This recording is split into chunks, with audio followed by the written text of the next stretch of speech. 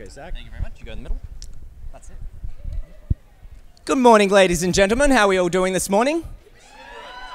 That's excellent. Before we get started, I'd just like to remind you all that there is to be no video of this uh, panel, no audio recording, and no flash phot- photography. Any other kind of photography is totally fine, just as long as there's no flash. So we've got Quinton Flynn coming up very shortly, and we'll also have Beck standing out the front, ready to take your questions. So if anyone would like a would like to pose their question to Quinton Flynn, please just queue- up the front there, and we'll get underway. Excellent. And without further ado, I would like to introduce the man himself. Actually, I should probably introduce ourselves. That's a very good idea. I think so. Good idea Yep. before I miss that part. Brilliant. I am your host, Jake. And I am Zach. Great to see you all. And more importantly, we have the man, Quinton Flynn. Everyone give him a round of applause.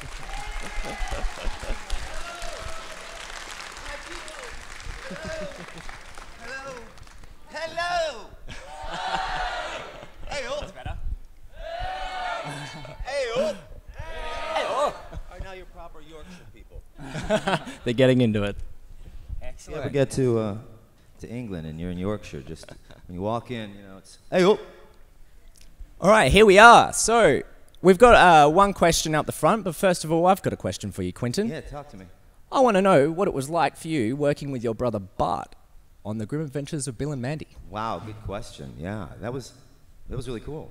Um, eh, it, that, that may be one of the few times it's ever, ever happened. And uh, yeah, we were always cut ups growing up together, uh, taking the piss, as you'd say. And um, so yeah, it was great fun. Yeah.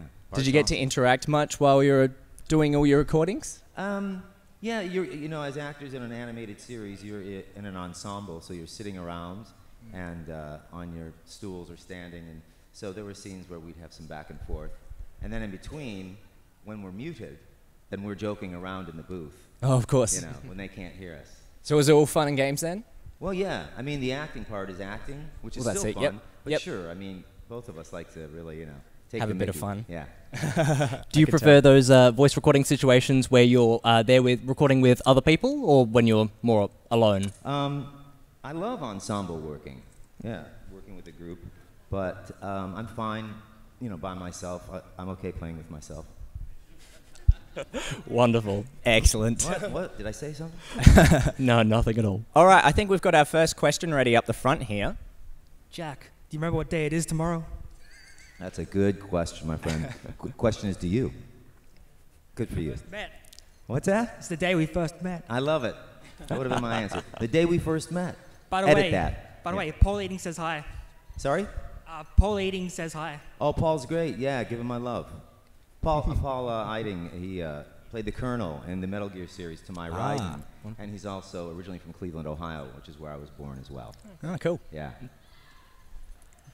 So, huge Metal Gear Solid fan. I was wondering, what was the voice direction like for the first time you took on such a new character? Obviously, Raiden was a dramatic change from Solid Snake. So, I was wondering what was the direction like, whether that came from Kojima himself or. Well, yeah, Kojima, uh, you know, he's obviously in charge of everything, so word runs down to all the characters and how he'd like them to be played. Um, I auditioned for the character and took their feedback. Once I got the role and I was in the booth, um, I just kind of rolled with it. And I hadn't played the first Metal Gear, so I didn't know who Snake was. I didn't know the background. Um, I just knew, you know, be better than him. Excellent. All right, our next question, please. Hi, Quinton. Um, basically, my question is: Were you nervous when you first started voice acting, and how and how how did you cope? Yes, I was nervous when I started voice acting. And when I first heard myself recorded back on a cartoon series or a commercial, it was so surreal. You know, it's like hearing this disembodied voice. And I was extremely self critical because it was so new. I wasn't familiar with it. Um, but over time, I got used to it. In the beginning, I didn't have any coping mechanisms. I, I just went, ah, that sounds horrible. oh, jeez, people are going to hate me. And then eventually I went, that's brilliant. This guy's just brilliant. Piece of art, see him in really. Australia, he's so brilliant. Yeah. Excellent. Again, Answer you the can question. laugh. These are really dry jokes. I'm not that arrogant yet. Cool. Next up. Yeah. Hey there, Quinton. Hey. Uh, was just wondering, with all of your voice acting talent, is there a particular voice that you love whenever it comes to voice acting, whenever it comes to improvisation? Uh, I love doing Paul McCartney, you know, Sir Paul from the Beatles. You might have heard of him. Yeah. I've been on tour for the last 28 years. Won't stop. So, yeah, I, that makes me happy because I'm a real Beatle head. Uh, I love doing impressions on uh, Billy and Mandy, you talked about. Um, I was cast to play a snake who was an attorney, and uh, they wanted me to do him as Christopher Walken. So it was like, Judge. A classic no, impression. You're out of order. Which was fun. So, yeah. Love it. Wonderful. Next question. I have two things to say. What if, first of all, I brought you a present for here, a gift from us from South Australia to uh, you. Oh, bless you. Oh, isn't that nice? All right, well, I'm going to come and what down. do you think about? How do you feel about Axel from Kingdom Hearts? What do you like about him and that? What makes you so connected to him and even his even his original self, Lea? Well, I love Axel's hair.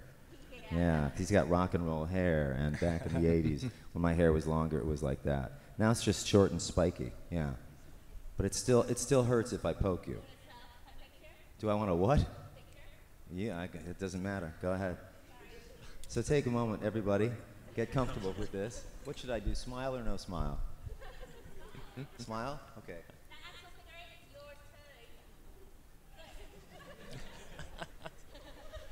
Obviously, this is taking a little bit longer than we thought. Yeah, Oh, just a oh, little I bit. Now Brief- brief extra detour. picture. Okay. How about that? Thank you. Wonderful. Beautiful. Let's give it up for her. huh? What's your name? Amy. Amy. Amy. Yeah. Right. Well, it's a pleasure to meet you, love. All the best. Cheers. Yeah. I'm going back on the catwalk because I am a professional model. that's the way oh, we Oh, that's walk beautiful. on the catwalk. nice turn. You've got that down pat. Well, I learned that what you do, and anyone can do this, all you have to do when you're walking is squeeze your butt cheeks when you walk. That's it. And it looks like you either have to go to the bathroom or you're a professional asshole. Excellent. Thank Not, you. not the type of advice I was expecting during this battle, I'll admit. You never know, you know, I got so many uh, thoughts and information. It's Wonderful. Full of anything surprises. goes. Excellent. Well, it looks like there's um, no one in the line at the moment. Please, if anyone else have, has any questions for Quinton, please head on up and get them ready. Yeah. Uh, on the topic of uh, working with Kojima, um, he's known to be quite an eccentric personality. I was wondering what, what it was like working with him. Well, he was in Japan all of the time, so Hmm. they had someone who was an intermediary Yep. to be able to chat with us in American and speak to someone in Japan if they needed additional direction or change. So he and I have never been in the same room at the same time, which could mean that we are the same person. Oh my God! I think it's proof, actually. exactly. Wonderful. So, how do you go about um, taking direction when it is so um, impersonal? When you do have that barrier? Oh well, I mean, it's I, I do get it from a director, so Oh. you know, it, like it's filtered down or fed down. So the I'm getting direct direction from a director that I'm used to working with. And Kris Zimmerman was the director on the Metal Gear series, and I'd also worked with her on the Adventures of Jonny Quest. And I played Jonny. Come on, Dad, we got to go find Bandit. and so she was quite clever, you know, make sure Quinton, let's not get too young. We don't want to go Jonny. That's She's like, it. too Jonny. You know. And there's also by Metal Gear Rising Revengeance, there was good Raiden and bad Raiden. That's it. Yeah. Right? So there's Jack, you know, who might be talking to the Colonel.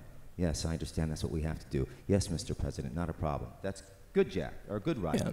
And she'd say, bad Raiden. It was like, now it's time for Jack to let her rip. so you could see it's That was it. Yeah. duplicitous. Love Brilliant. Yeah. Cool. It looks like we've got some people queuing up now. So if you'd like to ask your question, fire away. Hi, Quinton. Hi there, how are you? Good. Um, I was wondering, what's your favorite thing about voicing Silver the Hedgehog, and what can we expect to see in Sonic Forces if you're allowed to talk about it? My favorite thing is his hair, which is why mine is silver. yeah, and spiky, yeah. We're kind of in love. Um, you know, um, I don't know. I just like his attitude, you know? It's no use, but it really is use. You're useful, you're useful, we're all useful. Come on! Excellent. That's it. I like the energy, I like the fun, you know? Uh, I just dig him. He looks so cool. That's it. They are cool characters. Amazing. All right, we got our next question. Hi, um, I've got a sort of Square Enixy question. Did you prefer voicing Axel or Oh, Reno? Reno. I knew that was coming somehow. um, I, you know, it's tough. I, I, I don't know that I prefer one over the other. I've obviously done more as Axel. Um, I personally feel a little closer to Reno because he's kind of sarcastic, uh, like me. So I like taking the piss. So any chance I get, you know, Reno, you know, he thinks he's a badass and he does the best he can. But as we saw in Final uh, uh, Fantasy Advent Children, he and Rude, they were the comic relief. So that's what I like. Somebody who really thinks they're doing it right and then they screw up. Like I think he stepped on Rude's glasses, right? so a bit of. Oh, was it? I think it was Loz, yeah. Ah, well, I was wrong. Uh, see, I'm happy to be corrected. I take direction well. yeah. So I'm going to change my answer. Uh, and that was he probably thought it was funny that Rude's glasses got stepped on. Because it's one upmanship. It's kind of like, you know, brothers or siblings, you know, one wants to be better than the other. Yeah. Yeah. Wonderful. You're welcome. Good question. Was. Hey, how's it going? It's Uh, going well, Mike. Wow, look at you. It's Raiden. I'm looking at myself. Um, any news on a new Metal Gear Rising game? Uh, uh, no, no, no, no, unfortunately. When we were recording Metal Gear Rising Revengeance, uh, they had told me at that time that we were looking at a sequel. And I was thrilled. And I said, how, how long? They said, probably within the next two years. Right. Uh, you guys can do the math. When did Rising come out? What does it mean? There we go. He's on it. Yeah, and so we're in Right. 2017. Mm. So Yeah, it's been I a don't while. know. I mean, More they- than I think they have a problem with math. Or counting to four. Yeah. or two for that matter. Yeah, so we're hoping, I mean, we all hope for it one day, but it's because of the, the problems between uh, Kojima and uh, Konami. You know, he doesn't own the rights, so he can't do anything with it. Exactly. And I don't know that they will, but we all hope that one day that will happen. And I would love to see not only a sequel to the game, but I would love a series. Oh, you heck know, an animated series. That'd be awesome. Amazing. Yeah, that would be fantastic. That's my Thank two you. cents. Sure. Awesome. You look great, by the way. Thanks for your question. And I'm not saying that because I want to sleep with you. Let's be clear about that. We're friends here, and this is family friendly. That's it. Of course. Do you have another question? Hey, I have a question for you for the upcoming Kingdom Hearts 3 game. Yeah. Oh, yeah. Um, what what will we expect for Lea in the game? You know, I honestly don't know, truthfully, because we actors are the last to be given the information and brought in for the recording session. We're really kind of the uh, icing on the cake or the cherry on top, and they refuse to give us any information. And then once we're brought in for the recording session, I'm only given the scenes in which I'm working. So it's, it's a non-linear process. It's not A through Z. We might go B, F, Z, A, C, G in terms of a storyline. And um, even once I'm recording and done, I don't know a whole lot, and what I do, I'm not allowed to reveal. They make us sign non disclosure agreements hmm. so that nothing escapes, so that it could be a surprise to you guys when the game comes out. Hmm. I've got a follow up question for that, Sure, sure. So, in that scenario, do you then try to piece a story together from the recording session, or do you just wait until the final product's out and then you see what has become of it? Yeah, I, I don't try to piece anything together. I just, you know, get uh, a lot of clarity about where we are, what we're doing in the moment, and Yep. what I need to deliver to make the story work. Yep. And I do have a sense, moment to moment, of what's happening, absolutely. Um, but after the fact, no, there's no way I could make heads or tails of it until it comes Fair out, enough. Yeah. That's it. All right, next question, please. Hello. Hey, good to see you, mate. No, yeah, sa- sa- you too. Um, my question is that um, I spoke to the other um, special guests um, that came to AVCon about their tales of um, getting involved with pranks or getting pranked by another um, voice actor. Uh, have you uh, ever um, get, done pranks or got pranked by someone? I haven't been pranked by anyone in my profession, but I was doing a show in Wichita, Kansas. It was an 18 plus panel in which we were talking about David Hayter, and I said I could call him right now if you'd like me to. And he's the voice of Snake to my Raiden. So I did call him up, and someone was recording in the audience that night, and it's up on YouTube, and it says Quinton Flynn pranks David Hayter. Uh, I didn't consider it a prank. I was just calling him, you know, to be uh, kind to the audience and to see if we could get him to say hello, and he eventually did. Excellent. But, uh, yeah, so it was awesome. Uh, the only thing I think of doing sometimes is when I'm going through a takeaway uh, drive-through lane, you know, as we in the states we call it drive-through, to get food, and I can't understand what the person is saying on the microphone. So when they're like, uh, you know, uh, what can I get you? I'd like a cheeseburger, Coke, and fries. Excuse me? cheeseburger, fries, and a Coke. Okay, I'd like a Okay, one cheeseburger, fries, and a Coke coming up. That's it. That's how that works. Excellent. So, Thank you. thank you, and Cool. thank you. He gave me uh, some Tim Tams and a bit of Vegemite last night. Ah. The most That's it, Australian gift. Yeah, Iconic. you guys taking care of me. Everybody, you guys are wonderful. It's so good to be in Australia. We're glad to hear it. Excellent. Cheers. Cool. Next question, please. Hi, you should totally say something Iruka would say. I'm sorry, I couldn't hear that. You should totally say something Iruka would say. Oh, to you? What's your name? Uh, well, my name's Kat. Cat? Like a cat? yeah? Okay. Cat, you've got a big future. Now, normally I don't say this, but I think that you could actually supersede Naruto. So if you do this right, I'm going to take you out to get you some ramen. Hell Cat, Excellent. you're not doing it right, Cat. Cat! there you go. Beautiful. Amazing. Thank Love you. it. Round of applause. Thank you Thanks. so much. I'm so grateful for that. You guys are beautiful. oh, this man's covered in blood. Everybody, beware, beware. Most excellent. Medic, medic. Too bad you don't recognize me, huh? I, I don't. Uh, oh, yes, I do. You're my cousin Franklin. You, you, you followed me here, you stalker. no, Noah from yesterday. yeah. Uh, no, I don't. Wait, I do. Yeah, because you had to leave. Your mom was calling. Yes. It's true. Pretty good, right? I'm a detective on the side. anyway, um, I forgot to ask you this yesterday, but how many impressions have you actually fit your own personal humor into? How many impressions? Have you fit your own personal humor into? Uh, 1,427. A lot. yeah. So yeah, I love doing impressions. I started doing impressions when I was eight years old.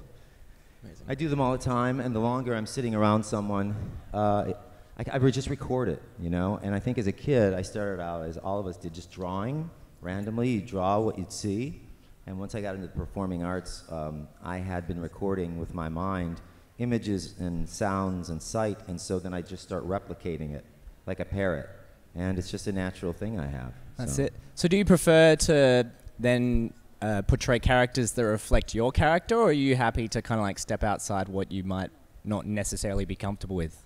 Um, I, I like either or both. Yep. Uh, again, with Reno, Raiden, and Axel, they're much closer to my natural speaking voice. So it's funny to me when people come up and say, you know, that really sounds like you. Because it really It does, is. yeah. Yeah, yeah. As opposed to when I do Timon, which is, you know, Nathan Lane, it's Hakuna Matata. Yeah, what a that's it. wonderful phrase. Come on, Pumbaa. Then, you know, that's Excellent. not Quinton Flynn. No, no, of course. In any way, shape, or form. Um, so I do love doing the impressions process because it is so much fun to do that and create and change and kind of channel that spirit and energy, and people go, whoa. But then it's also fun to be me, to be in the moment where stuff comes out just like in real life. Life really is about, it's really improv. We don't know what's going to happen Exactly next. right. And then suddenly within a take that's being recorded, they go, that was it. And I go, what was it? I don't You know don't what I was know. doing. Yeah, they that's go, it. the thing. I go, what's the thing? They go, the real thing. That natural thing that we wanted you to do that you didn't know you could do. Whoa. Surprise. Metaphysical, philosophical, psychologically disturbing. Excellent. All right, we've got another question up here. Hello. Hi there, mate. um, I wanted to ask, with the character Raiden, there is, uh, it was received a certain way by the audience initially. Yeah, not well. You, well, you pretty much answered my question. I was going to ask if you were aware of how that went down and how it's changed now. Yeah, I wasn't aware at the time. Um, there wasn't as much action on uh, social media back then. This was 2001, I believe. Yeah, I think when it came out. So someone did ask me your question in an interview, and I had no clue. So all I was aware of was that like there were a bunch of angry fans who were hoping to play through Snake, And then this char- new character, Raiden, pops up that was a secret, right? Kind of like an Easter egg. And uh, like, how do you feel about that they don't like the character? I go, I don't know. Uh, I, don't, I like him because it's me. and over the years, how that has changed is there have been some people who would come right up to me and go, I hated your character. I hated him. Over time, it's, you know what? Other people really didn't like your character, but I always liked you from the start. so that, that's how it's changed. And some have said, who had never played the Metal Gear series, that they played that first and they loved it. So I'm cool with it. You know, it's like anything. You know, you might, you and I might love one band, and we could play it for one of our friends, they might hate it. So it's really subjective. Yeah. So I can't. I don't take it personally. Yeah. By the way, did you like him? You always liked him. Oh, yeah. See? There we go. There we go. Fantastic. We're heading out to the pub later. Join us. Raiden fans Cheers. only. Right. Thanks so much for your question. Do we have another one? Hello again. Um, I was wondering, I'm actually kind of training to be a voice actor. I was wondering what any advice you could give me or anyone else in the room, like advice you could give us about voiceover. Yes. Drink lots of scotch, uh, gargle with razor blades, and never get any rest. It's exactly the opposite of what you want to be doing. He I should got it hope so. right. um, acting is acting is acting. So even though there's the word voice in front of acting or voiceover, people have this strange uh, misconception that it's not acting because they're used to seeing people on TV, on the big screen, you know, or uh, on, on the stage like this, and they think, well, this is acting. You know, and if the camera's close enough on my face, if I just dart my eyes to the left or to the right, I might look menacing. Well, the thing is, in voice acting, you are actually uh, working the microphone.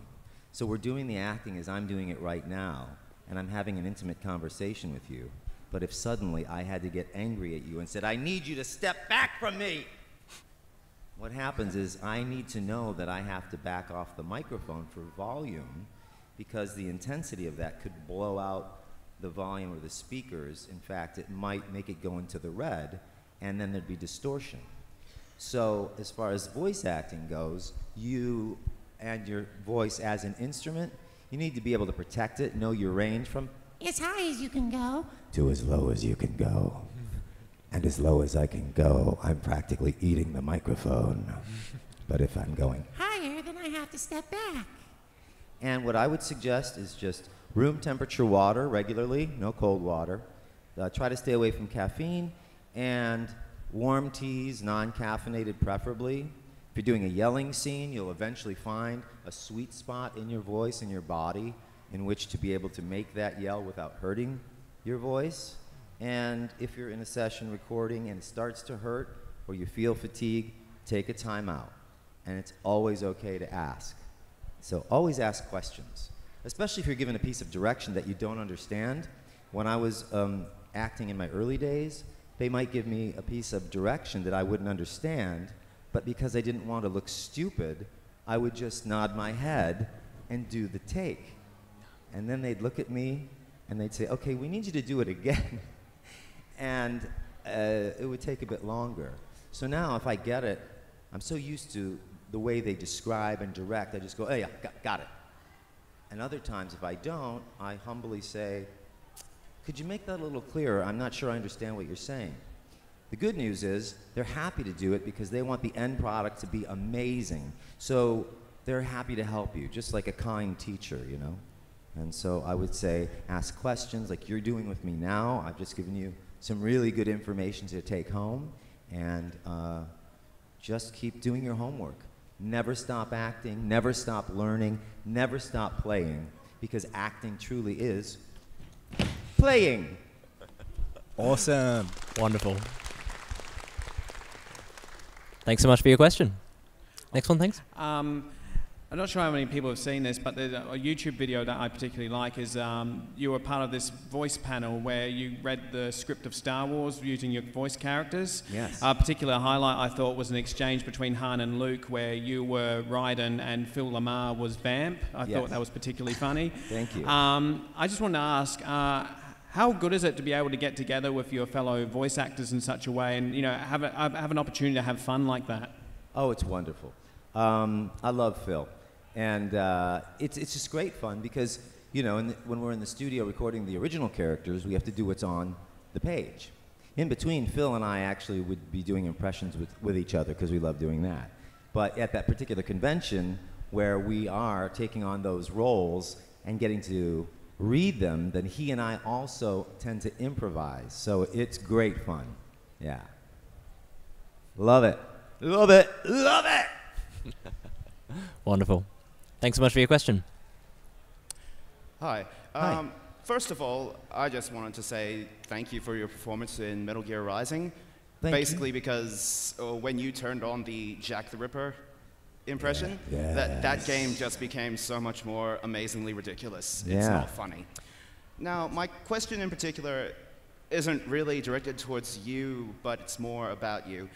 I happen to know that a streamer was playing your game last year by the name of Vinesauce, Vinny. Oh, yeah. He was supposed to do an interview with you. Um, Yes. From, uh, I believe he met you in an elevator or something at the New York Comic Con. Did that ever actually happen? It hasn't happened yet, and if you guys don't- don't mind, I'm going to take off my jacket. It's very hot up here. It's getting hot in here, so take off all your clothes. I'm taking, I'm taking, I'm taking off my jacket. That's all. If you want to see me take off any other clothes, you have to go to the uh, Crazy Horse tonight and pay money. That's it. Everyone get your cameras ready. So, uh, no, to answer your question, I have uh, not been able to get back to Vinny about doing that interview.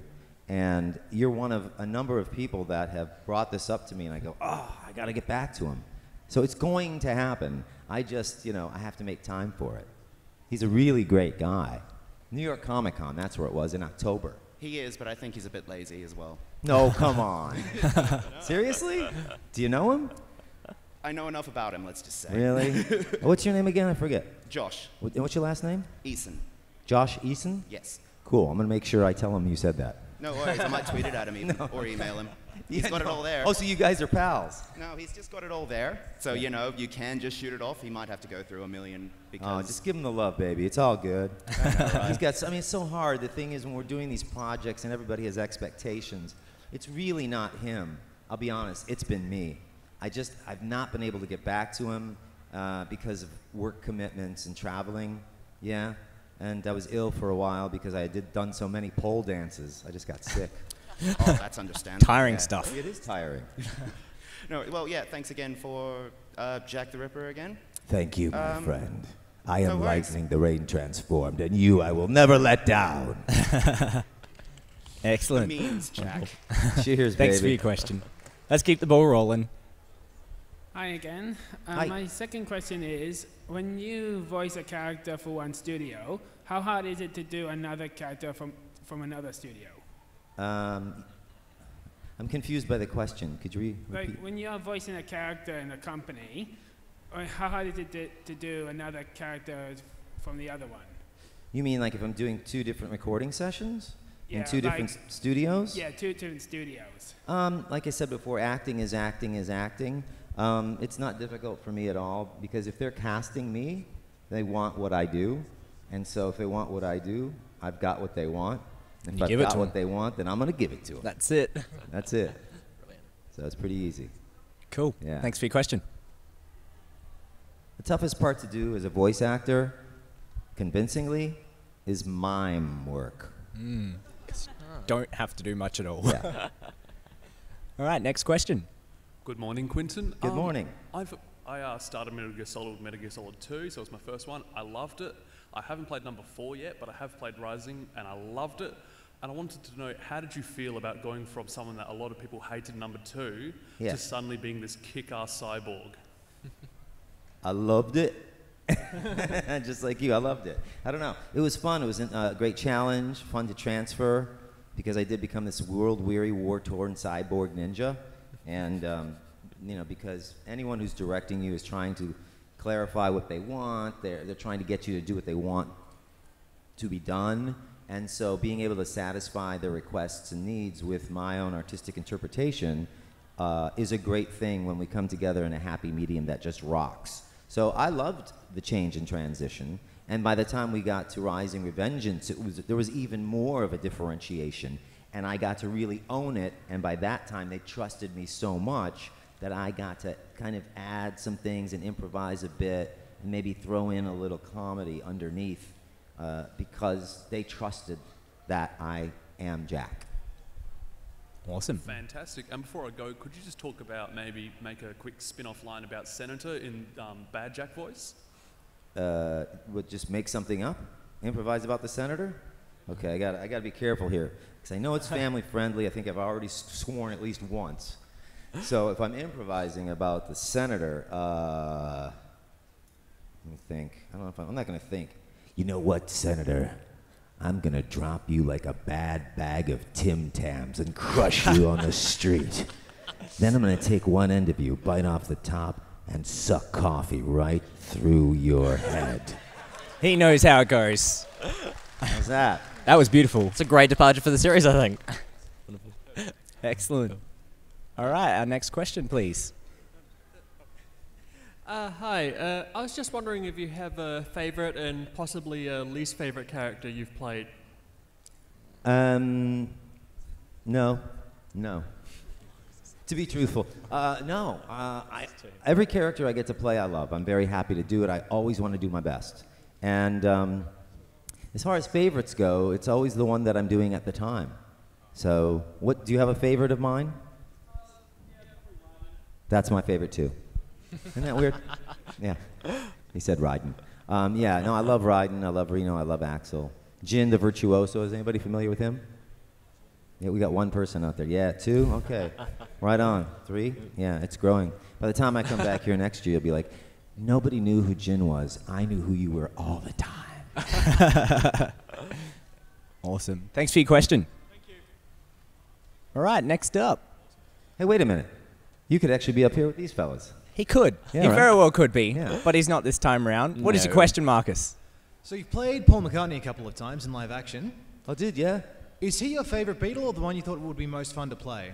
Um, Paul has always been my favorite Beatle, although I do love John. And he and I were born years apart, but one day apart. John Lennon was October 9th, I'm October 10th. So I do love John Lennon as well. He's a bit more nasal. Yoko's a supreme genius. That's why I went out with the, the rest of the Beatles were jealous. And then Excellent. George might say, Jeez. you know, Hare Krishna, Hare Krishna.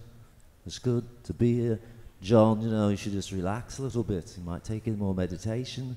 Ringo would say, peace and love, peace and love, no more autographs. and, uh, the reason I'd play Paul for the on camera is because I happen to resemble McCartney a little bit more. You know, if you look at my face and my features, you know, the eyes and the nose and the, the mouth's a bit smaller. So I couldn't do John, even though I like to do John. They wouldn't let me because I don't look like him. Yeah. But I think Paul and John together, like if you say, who's your favorite Beatle? I'd say John and Paul. Because together, what they did as songwriters, they really complemented one another. And Paul was always known as the softer of the two, and John the sharper. But the truth is, they both had those same characteristics that were woven into their songs. It's just that publicly, John had no filter and would tell you everything he was thinking about his life, whereas Paul was a bit more of a professional showman who was also aware of marketing and would keep things to himself. Mm, a bit more reserved. A bit more reserved. And you, you, you, you, you would be hard pressed to find an interview anywhere on the net and hear Paul McCartney cursing. Mm. Whereas with John, you know, no worries. No, that's it. yeah. Exactly right. So it's fascinating. But yeah, good question. I'm, I'm obsessed with the Beatles since I was a kid, and I just, I love and know so much about them. The same way many of you know about Reno, Raxel, Reno, Axel, and Raiden. Raxel. I've created a new character. New character, right there. My name is Raxel. I'm a rascal. Yeah. He's wor- he's working on it already. What do you want to do? Who's your favorite Beatle? do you have one? Do you like Paul McCartney? What is your name? I'm going to eat you. I'm Raxel. Ah! Oh, that was brilliant. and that's acting right there. That's acting. Got it memorized? Excellent. I think we're watching history be made. Yeah, that's it. All right, thanks for your question, Marcus. What have we got next? Uh, my question is about League of Legends and Jhin. Yes. Um, I understand the character was changed when they were developing him. It's true. Uh, did that change your voice acting at all, like the script for it? It did. They actually uh, they, they, they wanted uh, his vocal range to change in terms of age, and then the dire- direction they gave me, and this is unusual. They gave me four video clips to look at: Kevin Spacey from the movie Seven, Michael C. Hall from Dexter, Anthony Perkins from Alfred Hitchcock's original movie Psycho, and the Bond villain from Skyfall. And they said to me, look at all of these video clips because they all have elements of what we'd like to see and hear in gin. And I said, well, we can do that if you just give me a bottle of gin. it will be so easy, it will be effortless. But uh, no, what I did is I studied those clips and then I worked up impressions of each of these gentlemen in their performances.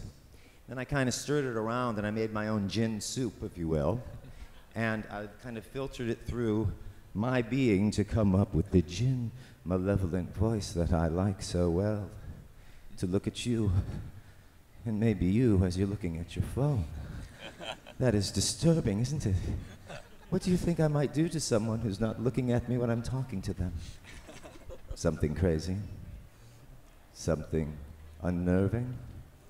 Maybe I would dance on their shoulders. Maybe I would crush their skull. Maybe I would drink that which emanates from their pores. I like your shirt. I think you should give it to me. so villains don't know they're villains. As I did that, I was enjoying every moment, but as I noticed the hush in the room, it was suddenly apparent to me that people were wondering what's going on. oh no!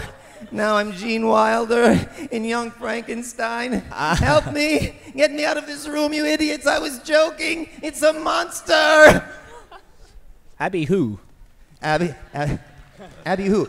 Did Abby. You, Abby Normal. Abby. Abby Normal? Are you saying you? I put the brain of an abnormal person into the body of a seven foot, 250 pound monster? Oh, brilliant. Thank you. Excellent. Love it. All right, next question, please. Howie, uh, my question sort of got answered. Um, my girlfriend's a big fan of you. Um, Yes. could Is she? What's her name? Millie, the girl in Amelia? the white jumper. Stand up. Hey, love. there is no place I know that compares with your imagination. Come with me, and you'll be in a world beyond your imagination. Living there, you'll be free to see your boyfriend is coming to take a picture of you and me if you only wish to be. That is a great Gene Wilder. Such a beautiful number. Thank you. Exactly. That was beautiful. Thank you. Excellent. Was So, what was your question? question? Oh, what was your question? I'm in love with your girlfriend. Sorry. Sorry, distracted. It's, it's mine. I'm, sorry, I can't share. That's okay. I don't mind. I don't mind. Um, be, previous, before Riot Games approached you, was there any other companies that approached you, like uh, Dota and Smite and stuff like that, to voice act for them? Which I'm sorry. Oh well. I'm no, not. I'm not. A f- I don't really know too much about you. Sorry. I'm just here because of her. that's okay. I just found out you no, no. She's. It's obvious. Sorry. She's. She's a genius. Yeah. Yeah, it's obvious. So stick with her. Um, no, w- the way it works is with these companies. Uh, as an actor, we're given opportunities. So an audition will come down the line, and I'll audition for a role. Only occasionally will a company contact my agent and ask to book me directly for a role. So if it's something I'm right for, I'm happy to do it. And if I'm auditioning, then kind of the company brand, it doesn't necessarily matter to me in, in as much as I want to know what their style is so that I provide a performance stylistically that will work well for them. You got it, mate. Thanks so much for your question. Do we have another one? Um, I was wondering, how did you evolve the character of Axel throughout the series, considering he's changed quite a bit since his first uh, inclusion in the series? Well, part of that happened with the way in which they wrote the script, changed, and adapted through the story changes. And, you know, w- as I said before about Raiden and how he changed, I think in any series, if you notice the, how an actor performed early on compared to the middle of the season, uh, uh, the, the series or the end, they grow, change, and shift. Again, for the reasons that the story changes, they want to keep things fresh, and also because I've been playing him long enough, they allow me to live in that body and skin, and they trust me more, so I have more of a spin on it, a bit more of control later on and than I did in the beginning. Awesome. I feel like a professor. Really do. It's like That's it. science, right? That's it. Which I was never good at. Just a reminder as well, there's just over 10 minutes left, so if anyone wants to try and squeeze in their questions, just line up out the front. You want to get in those special questions? Hey, nothing is sacred. Hey, hey. So I was wondering, with Metal Gear Solid 2, Yeah. what was it like going from the more obedient Raiden to the more, like, well, in the simulation Raiden? So trying to figure out what Colonel's going on about. Um, well, uh, I don't know. It's an excellent question. I, and, I, and really, not to put you on the spot, but what, what, what is the difference for you as the player? I think it's more or less going from such a serious game to such a out there sort of switch in direction, especially for Raiden. Yeah, yeah. It's kind of the same for me. I mean, again, because I'm doing it moment to moment, it's not that unusual. What is unusual is changing the pacing, changing the emotions, uh, the redirects, where I might be comfortable in a flow in one particular area, and then I do have to change. Um, it, you know, it just takes some adjusting. But I know when you're playing a game, it can seem radically different quickly. So, not as disturbing for me as it is for you. That's what I think. Cool. Thanks for your question. Next up. Hello again. Um, Hello, I had a thought. How was it trying to voice someone who has no emotion? Well, who are you Axel. talking? You mean Quinton? Me? Yeah, no. A- who, Axel? Yeah, like how he was, how he's a nobody and sort of how they're not supposed to have emotions. How was it trying to do that and then having them slowly develop emotions anyway? That's a good question. Again, it was part of the process. And um, based on my interpretation and the director's direction, um, I don't know. Uh, I guess it was only challenging in as much as they would ask me to give them less, you know, uh, in terms of a performance. And doing less, it feels like you're not doing anything. But oddly enough, when they play the record back and you hear it, you go, oh, there is something to that nothing. You know? Yeah. How about that? Think on that for a while. Good question, good answer. It's Amy again, the one that oh. gave you the little Axel figurine. I- I'm oh. not taking any more photos, but I want to ask. You did. I heard you once voice a character in the Crash Bandicoot games, Engine, in Crash Twin Twinsanity. What did you think of that? I thought it was wonderful. It was based on Howard Cosell, who was an announcer from the 1970s on Wide World of Sports who used to interview Muhammad Ali.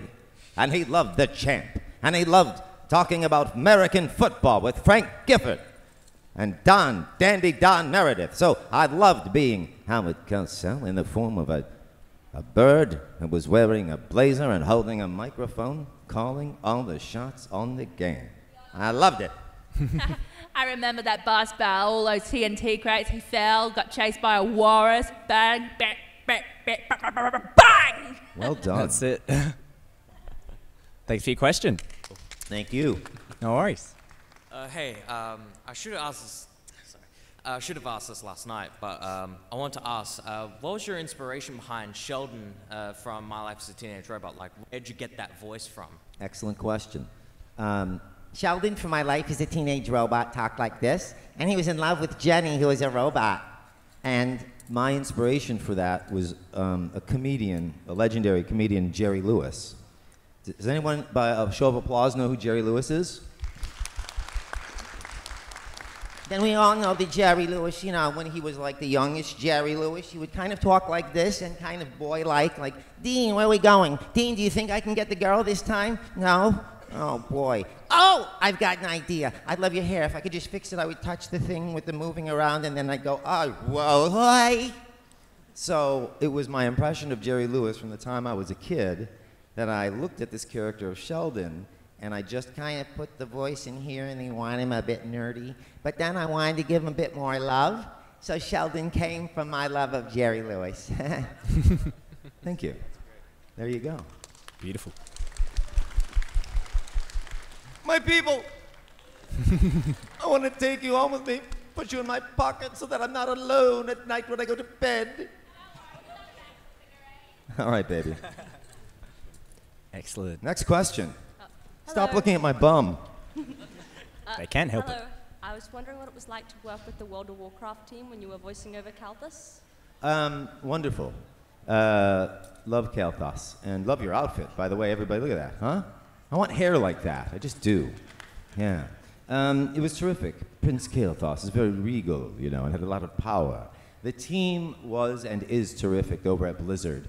So we first did World of Warcraft, and then just a couple of years ago, I got to reprise the role in uh, Heroes of the Storm, which was a real joy, and especially for fans. Are you a fan? Yeah. Um, they loved it and want more. And I say, write to Blizzard, tell them to create a spin-off for Prince Kael'thas so we can have our own series of games and or animated. What do you say? Yes. Yeah! That's what we want. Hey up! Hey up. All right. Excellent. Thank you, baby. Well, it looks like that's the end of the line. Does anyone else have any more questions? If so, please make your way up. There's still about just under 10 minutes left of this panel, so we definitely have more time for more questions. In the meantime, I have a question of my own. Shoot, I'm, baby. I'm wondering, uh, is there a big difference in your approach when recording something quite story-driven, like a video game or, or TV show, as opposed to something like, um, like for uh, Heroes of the Storm, uh, where it would be more individual sound bites without a lot of character development? Do you have a different kind of process approaching those types of roles? Between that and what, like a Metal Gear series or something yeah, just something that has a story where the character is expected to change over the course of the. Oh. Um. Ye, you know, oddly enough, uh, I think it is more challenging to do fewer roles for. I'm sorry, fewer lines of dialogue for a character Hmm. than it is living with one for a long time. Hmm. So it is a greater challenge because, uh, depending on where they place the moments, you really have to make the most of them and quickly within a short window of time in the studio. Hmm. Interesting. Yeah. Wonderful. Excellent. Yeah. Brilliant. Oh, come on, guys. Surely there's more f- questions for you to throw at Quinton. No. Do you want? I can start Oh. asking questions if you want. Let's do it. All right. Uh, who's got the microphone? You've got the microphone. What's your name, love? I'm Beck. Where are you from, Beck? I'm from Adelaide. Uh, now I know Rebecca is short for Rebecca, right? Yeah. Does everybody call you Beck? Yeah. Now, when they say that, do they ask you how your albums are doing? No. No. No. You don't ever get confused for Beck, the international artist? No, unfortunately not. Really? Really? Because I was hoping you might, and you could bu- give me some money. I'm a little short. Yeah, so am I. Sorry Uh, about that. Forget it. Damn it. Oh my God. Do you have a question? I'll bring it on. Look, they're having a discussion. I love it. You know, she's telling me, I will, I'll give you the money back that I owe you. We have a lovely ginger here. What's your name? I'm Annie. Annie. Lovely. Um, just with the weird directions that you've been given, when before you knew how to interpret them your own way, what's a really weird one you got, and how did you interpret that? Oh, one was, uh, this time, do it better. It's like, seriously?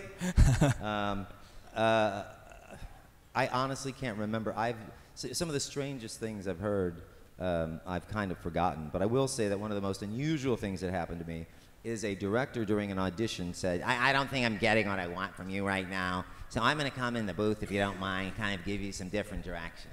So he came into the booth and he picked up a broom and he stood behind me and I was playing this superhero. He goes, yeah, I need your highs to be higher and I need your lows to be lower. He's kind of this chubby guy who's drinking coffee with a donut in one hand and a cigarette in the other. And he put it down and he put, he goes, stuck the broom like right between my legs like I was a witch, right? Like flying.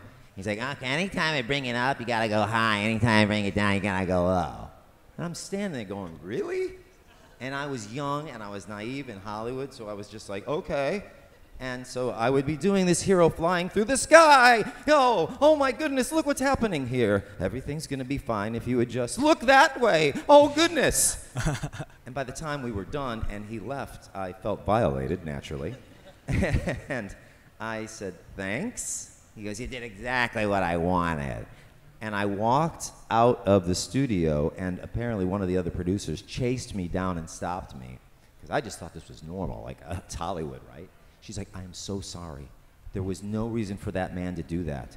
Please, please forgive us. And I was like, oh, you mean that's not normal? like, no, that's beyond not normal. And he's in trouble. I'm like, okay. She goes, anything I can do for you? Coffee and a donut? Hold the cigarette? You're welcome. And that's a true story. Strange, yeah. You can applaud, yeah. Yeah. Bring it on. Bring it on. I'm afraid that's uh, all we have time for today. Could everyone please give another round of applause to Quinton Flynn?